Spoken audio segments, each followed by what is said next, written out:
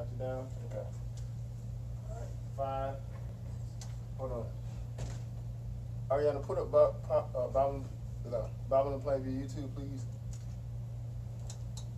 And uh, I need to hear it when I come out. I need to see, check the sound. All right. Count it down. Five, four, three, two, one. Peace to everybody tuning in. My name is Brother Cephas. I'll be your teacher today. My reader today is Brother Johnny. Today's title of the class is According to Your Works, Will You Be Judged? And the purpose of this class is because we have a lot of confusion as to what's going to happen, you know, in terms of, you know, what happens when we die. Some people believe we're going off to heaven. And one thing in the scriptures that we completely disregard is the fact that we will come across something called Judgment Day. When Judgment Day gets here, the Lord, He's going to be coming and He's going to be judging everybody according to your works. We're going to look through the Old Testament, also the New Testament, because the message has always been the same. It hasn't changed, brothers and sisters. When Jesus came and He died, of course, we need to believe in Him, but He did not take off the table what is required of you. So we're going to turn over to our first scripture, which is James chapter 2. Because, you know, we understand that we have to believe in Jesus. It's without Jesus dying for our sins and us believing in him, dying for our past sins, everything we do right now is for nothing. We all have nothing to look forward to but, you know, the ultimate death. But if we believe, James is going to elaborate on what it means to actually believe, you know, because you can read where it says we're justified by faith. But there's a little more than that also. So James chapter 2, and when you get there, pick it up at verse 17, please. Even so, faith, if it hath not works, is dead, being alone. So it says, even so faith, if it hath not works, is dead, being alone. So if you want to say you have faith, faith without works, then you're not on a good footing with God, brothers and sisters. Because right here, James is making it plain and simple for you. Faith without works is dead. Go ahead. Yea, a man may say, Thou hast faith, and I have works. Show me thy faith without thy works. And you know what? A lot of people today would want to do that for you. They have no problem saying, I believe in Jesus. They have no problem saying, I have faith in Jesus. However, they want to show that faith without exhibiting any form of faith. But let's see the mind state of James here. He said, because the average man, he will say, well, this is James talking to average man. He says, show me that faith without that works. And that's the mindset of people today. But this is how James thinks, though. Keep going. Show me thy faith without thy works, and I will show thee my faith by my works. And this is an apostle. This man has a book in the Bible. This man walked with Jesus himself. So, and his mindset was, I will show you my faith by my work. Now, you know, you can put it in modern day perspective. For example, a job I had in the past was a marketing job. And it didn't pay me enough money. I didn't have faith in that job to provide for my family. So what did I do? I didn't work there anymore. I didn't have faith in it. Job I do now, work what I'm working towards, I have faith in it, so I'm going to work towards it. Just like when you have your job, you may be getting paid weekly or bi-weekly, but at the end of the day, you don't see that money in your paycheck. You don't see it in your bank account until payday. But what do you do? You work towards it. So your faith, you believe in the check coming your way, you work towards it every day. You clock in, even though you don't have the check yet, but you know it's coming. So that's what he's telling you right here, brothers and sisters. He says, in uh, verse uh, 18, he says, And I will show thee my faith by my works. Go ahead. Thou believest that there is one God. Thou doest well. And you know what? You're off to a good start if you believe there's one God. Because there really is. And that's Jesus, of course. There's one God. But furthermore, the, de- the devils also believe and tremble. So the devils believe also, and they tremble. But yet we have people thinking it's all good and dandy. I have a personal relationship with Christ. Making it seem as if everybody can, you know, approach Christ any kind of way. They all have their own path to salvation. But in Jude chapter 1, it tells you about the common way to salvation. We're not going to go there, but I leave that for Homer for you. But it says right here, Thou believest that there is one God, thou doest well. The devils also believe and they tremble. Now, the, de- the devils, listen, they don't have an inheritance with God. They're not going to get, you know, to be in the kingdom. They're not going to, like, they believe there's one God just like us. But what's the difference between us and them? They have no works, you know, they're not building up works in order to get salvation because they, they know where their end result is. So just because you believe there is one God, it's not enough, brothers and sisters. Because, listen, the devils do too. And guess what? They tremble. They fear. So if they fear and they know they're not getting anything, guess what? You should fear also. But that's that's that's later on. But verse 20.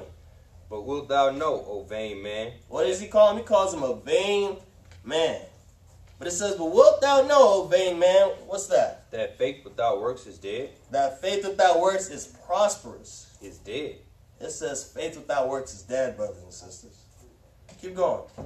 Was not Abraham our father justified by works when he had offered Isaac his son up upon the altar? And it's and Abraham, he's a father of our faith. It says, was not Abraham our father justified by works? Of course he believed God. But it says he was justified by works. If you keep in mind, everything the Lord told Abraham, he did it. You can read it Genesis even in Genesis chapter 26. It said that he obeyed his law, his commandments, his statute, obeyed his voice.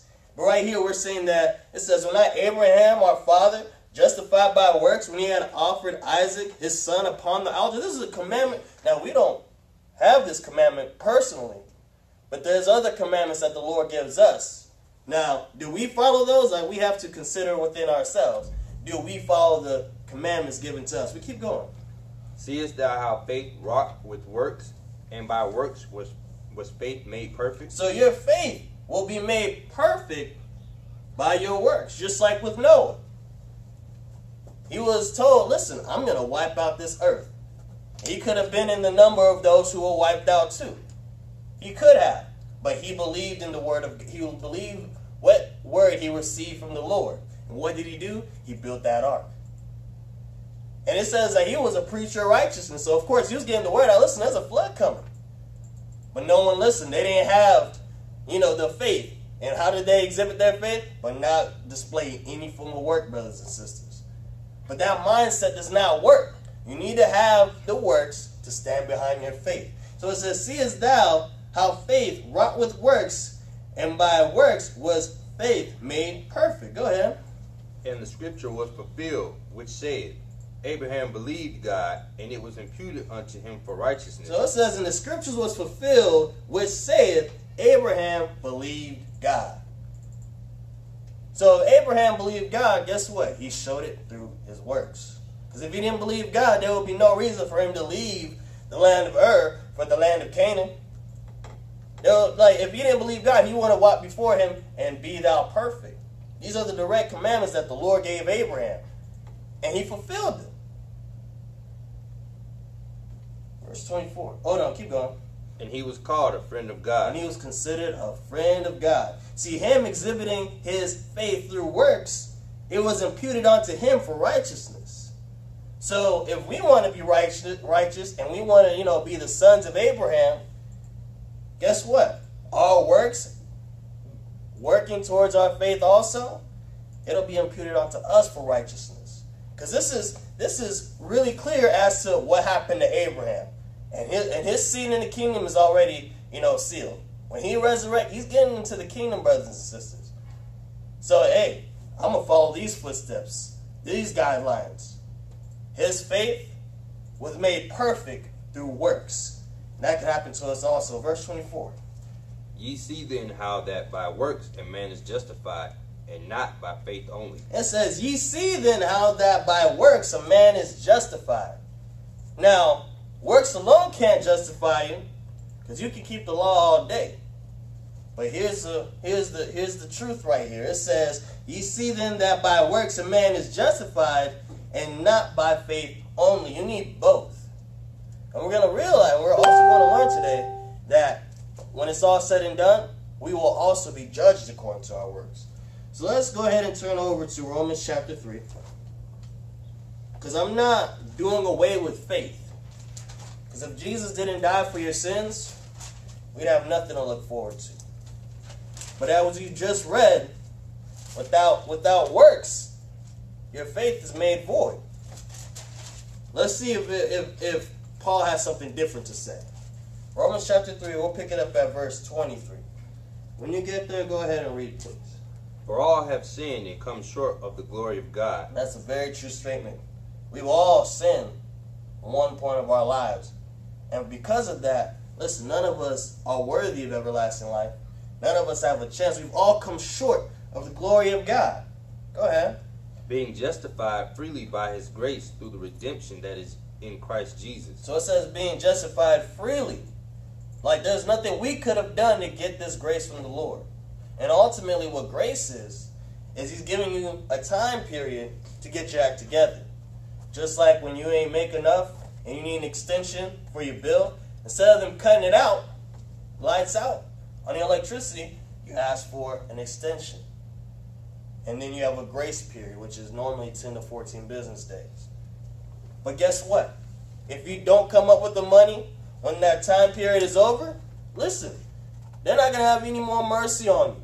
What's going to happen? They're going to cut off your lights. Now, the same thing applies to you dealing with the Lord. Because it says, being justified freely by his grace through the redemption that is in Christ Jesus. Go ahead. Whom God has set forth to be a propitiation through faith in his blood, to declare his righteousness for the remission of sins that are past. For the past, future, and present. For the remission of sins that are past. So it says, whom God has set forth to be a propitiation through faith in his blood. So we have three components that we're going to realize we need. Because we saw that faith alone ain't going to justify you. You need faith and works. But this third component, grace, which the Lord freely gave us, like I said, there's nothing we could have done to receive it. Now that we have it, and then we have the faith also. We need to believe in the fact that He died for only our past sins. Meaning, once you come to the understanding that you were a sinner, now you must change. You got to bear fruit. Got to exhibit some form of work to show that you changed. And we're going to learn what those fruits are today. But in verse 25, it says, Whom God has set forth to be a propitiation through faith. If you don't believe in him, he's not going to be that intercessor for you, brothers and sisters. And only his blood is worthy of being shed for you. But it says, Whom God has set forth to be a propitiation through faith in his blood to declare his righteousness for the remission of sins that are past. Go ahead. Through the forbearance of God. Go ahead. To declare, I say at this time, his righteousness, that he might be just and the justifier of him which believeth in Jesus. So it says to declare, I say at this time, his righteousness, that he might be just, and the justifier of him which believeth in Jesus. So Jesus is going to be standing there. Because like I said, we've all sinned. And something has to be killed in order for sins to be forgiven. But the bloods and bulls and goats is not going to do it, brothers and sisters. That's why Jesus is our ultimate sacrifice. So when the Father is looking, guess what? He's going to see the blood of Jesus. And we are dead, buried in his baptism, correct? So the Father is going to see his blood shed for us, and he's going to be able to accept us. However, we have the faith that he died for our sins. But is that it? Jump down to verse 31. Because now it's talking about, you know, where do we have the boast? Is it in the law? No, we don't. Because if we just lived in the law all our life without the belief in Jesus, guess what? It's still void. But on the flip side, if you just believe, if you just have faith and you have no works, guess what? It's still void also. But jump down to verse 31. What's that say? Do we then make void the law through faith? That's a really good question. God forbid. God forbid. Yea, we establish the law. Yea, we established the law. Because Jesus done died. He died. We're, we're justified through faith. That's one of the components because we're justified by not only faith, but works also. And the scriptures also say that we're justified by grace. But what I'm telling you here is do we make void the law through faith? No. Because people will come to the conclusion, oh, I have faith now. I don't have to do anything. Because Jesus died for our past sins. Or he died for our sins in general is what it's teach today in modern Christianity. They don't say he died for our past, present, and future sins. Which means that now I can have the mind state, I'm looking forward to make some sins. Nothing's stopping me. Because Jesus died, he's going to love me regardless, right?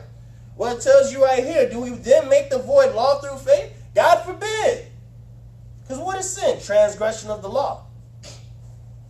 It says, yeah, we established the law because this is the first thing that got us in trouble to begin with. We were breaking the law ignorantly. We didn't know no better, but the sins was racking up. But now we believe, and he's put away the past sins, and now it's our duty to establish this law, to bear fruit, walk according to his law. So with so even though we have faith, listen, we need the works also. And we're to learn we're going to be judged by these works. So let's turn over to Titus chapter 1. Because not all works is good works, brothers and sisters. We have a lot of belief systems out here thinking, you know, I can do, I can worship the Lord my way, I, you can worship the Lord your way, and we'll all get to heaven. Now that's three lies. Like it doesn't work that way, because you see, you can bear bad fruit, brothers and sisters. First, oh, Titus chapter one, pick it up. We're gonna read one verse, one verse sixteen. So get that. Go ahead and read. They profess that they know God. And people out here profess they think they know God. They'll Jesus you to death. They be like, man, I know Jesus. Jesus knows my heart. You can't tell me nothing about Jesus. I don't want to hear it. He's my personal savior. That's it. But, go ahead. But in works they deny him. But in their works, they deny him. Just like when Jesus was talking to the Pharisees, he says, "Why do you transgress the why do you transgress the commandments of God for your traditions? Christmas, Easter, going to church on Sunday." Now they tell you, you know, Jesus resurrected on a Sunday. That's why that's why they go on Sunday, but that isn't true. But from that, you know, logic alone, it lets you know it lets you know that they know what the first day of the week is. Now the Lord told you to go to church on the seventh day. But they'll tell you, oh, no one knows when the real seventh day is. Well, according to your logic, you do know. You're just being defiant. And that's why it says, but in works they deny him. Just because you think you know God, just because you think you know God, doesn't mean you really know him. Because you can say one thing, but your actions say, say otherwise. That's why it says, but in but in works they deny him. Go ahead being abominable. And what else? And disobedient. So it says their works cause them to be abominable. It causes them to be disobedient. Think about it. Even in the dietary, that tells you if you eat that swine, that is an abomination. But they'll, they listen, you can't take. I remember I worked with somebody, and he told me straight up, listen, because I, cause I don't eat pork. And he offered it to me. I said, no, I don't eat that. He said, man, I couldn't be part of religion where I can't eat pork. Now, my mind, listen, that's everlasting life you're playing with right there. But you can't give it up just for the Lord.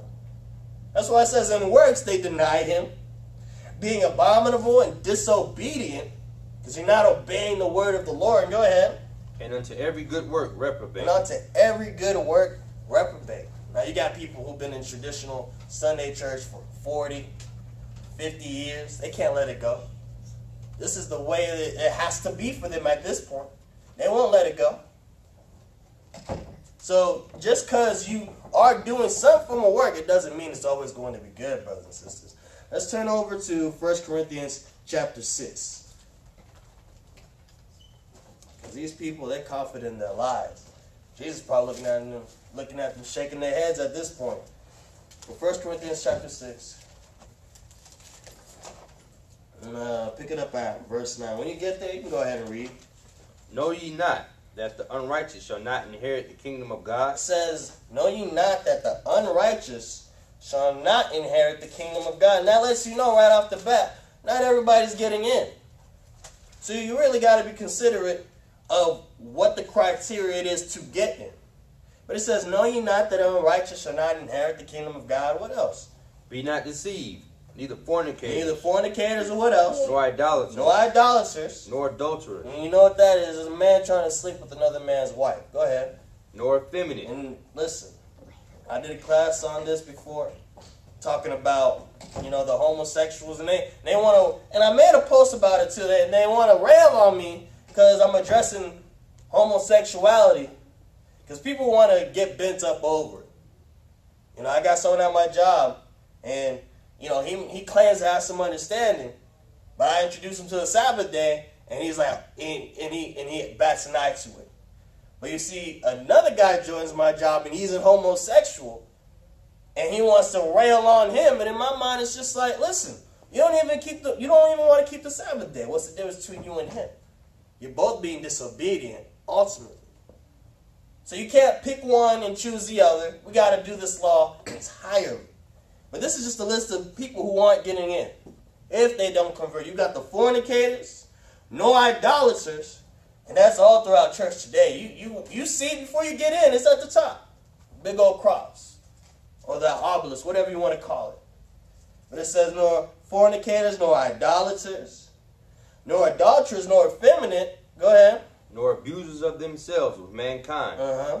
nor thieves, nor covetous, nor drunkards, nor revelers, nor extortioners shall inherit the kingdom These of God. These people are not getting in.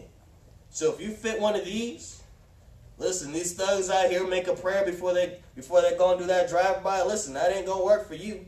That sinner's prayer is not gonna work for you either. Because you're still committing the wrong that the Lord died for you to repent from. That don't mean you go back to your own wicked ways.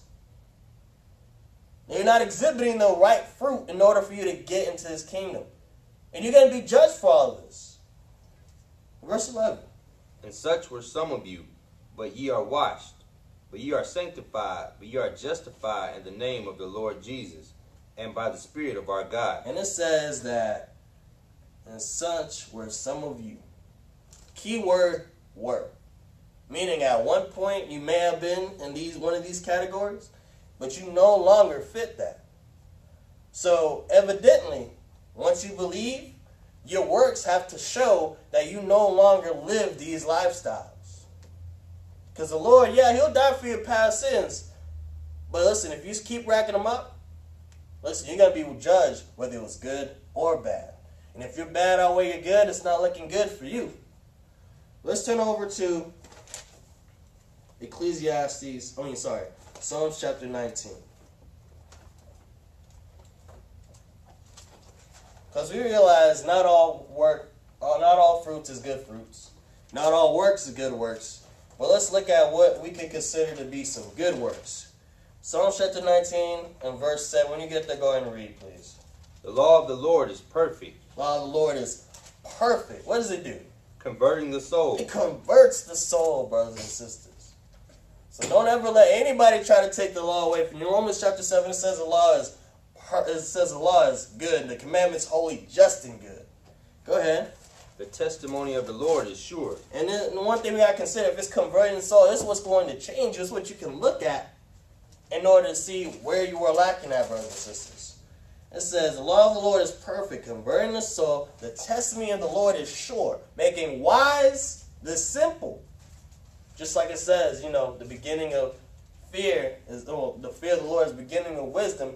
A great understanding have all they that keep his commandments. So once you start going according to this law, listen, it can make the it can make the simple become wise. Go ahead. The statutes of the Lord are right, rejoicing the heart. The commandments of the Lord is pure, enlightening the eyes. Like I said, this is going to bring you understanding. It's going to give you wisdom because you're going to operate contrary to the world. Know, the world as a whole is on its way to destruction, but you're on that narrow path to life. Go ahead. The fear of the Lord is clean, Ooh. enduring forever. Right. The judgments of the Lord are true and righteous altogether. Now people want to say you can't judge me, but guess what? I don't. I don't make my own judgment. What I go according to is God's law. What judgment do I give you is God's judgment. So He's the one saying homosexual is an abomination. He's the one telling, listen, if you want to break the Sabbath, you're gonna die. Because if you looked in the last scripture, it told you a lot of things like adultery. You're gonna die for that. Being homosexual, you're gonna die for that. Guess what you're gonna also die for? Breaking the Sabbath. Being disobedient to your parents. Listen, these things ain't being done away with. Don't let nobody tell you that the law is done away because these are your works, brothers and sisters. You need to honor your parents. You need to keep the Sabbath. You don't lie, you don't steal, you don't kill. All this is necessary, brothers and sisters. Jump down to verse 11. Moreover, by them is thy servant warned. Moreover, by them is thy servant warned. So you look at the law and listen, these are warnings. These are commands. This is something you need to go by. It's a way of life. So by this you are warned, and what else? And in keeping of them, there is great reward. There is great reward. That's why he told you in Matthew chapter 5. Whoso breaketh and teaches those to break the commandments, listen, they're going to be least in the kingdom. And ultimately, that means you're not even getting it in. But guess what? If you keep the commandments and you teach others to do so, you'll be great in the kingdom of heaven. But right here, saying, Moreover, by them is thy servant warned, and in keeping of them, there is great reward. Bible's always saying the same thing. Let's turn over to Ecclesiastes chapter 12. Ecclesiastes chapter 12. We'll pick it up at verse 12. When you get there, go ahead and read, please. And further by thee, my son, be admonished. Of making many books, there is no end. And it says, And furthermore, by these, my son, be admonished. Of making many books, there is no one, no end. You know, you, you could go to Kroger, you can go to Walmart. You see all all kinds of women devotionals, you know, personal like like guidelines. These are things that man wrote, trying to get you closer to God. But it says right here, and further, by these, my son, be admonished of making many books. There is no way, there is no end. You can read all these, but listen, it's not going to bring you no closer to God. Because here's the real book you need to go by. Right here, the Holy Bible, these 66 books right here. 'Cause and it says right here, and of making many books, there is no end. What else? And much study is weariness of the flesh. And much study is the weariness of the flesh. Now we can get out of hand with all this. But guess what? Verse 13. Let us hear the conclusion of the whole matter. Let us hear the whole conclude. Let's hear the conclusion of the whole matter. What is that? Fear God. Love God. Fear God. Of course, you need to fear God, but loving God means you're gonna fear Him. People want to tell you, you know, you don't need to fear God anymore, but it don't say this right here.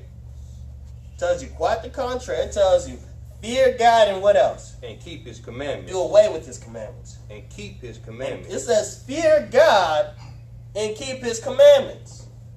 Now, if you fear God, guess what? You're going to keep his commandments. And if you keep his commandments, it shows that you fear God. Why? Because you understand what, the, what God is capable of doing. It's not about dying, we become angels and, you know, we, we watch our loved ones from, you know, up in heaven. No, when we die, we're going to the dirt. And listen, we're going to wake up and we're going to have an answer for everything we do. Verse 12, verse 14. For this is the whole duty of man. I mean, verse 14. For God shall bring Oh, yeah, it says, For this is the whole duty of man. So this is what you're built to do. Verse 14. For God shall bring every work into judgment, with every secret thing, whether it be good or whether it be evil. And it says, For God shall bring every work into judgment. He ain't talking about your faith right here. He ain't talking about your grace right here. What he's talking about, he said he's going to bring every work into judgment. With every secret thing. So you can't hide nothing from God. You got an innumerable amount of angels recording everything taking place. Whether it be good or evil. Let's turn over to our last scripture. Philippians chapter 2. We're going to read one verse here. Philippians chapter 2 and verse 12. When you get there, go ahead and read. Wherefore, my beloved, as ye have always obeyed, not as in much, not as in my presence only, but how much more in my absence. So he's talking to the Philippians here. He's, Listen, I know you've been keeping the word when I've been here, but listen, it's it's more important, it's more critical that you do it when I'm not here too. Listen, this is an enduring battle until the end. But what's it say? Work out your own salvation with fear and trembling. It says, work out your own salvation. He didn't say just, you know, lay up under a, under a palm tree in a hammock chilling because salvation is right there. No. He didn't tell you, listen, I can break the commandments all I want because Jesus done died for my sins. He nailed it to the cross. He nailed the feast days. he nailed the command, he nailed it all to the cross. No, he told you right here work out your own salvation with fear and trembling. Because if you don't get in, brothers and sisters, living in that lake of fire for everlasting, listen, the fire is not going to be quenched, the worms die not. So you will be judged according to your works. I hope you got some understanding.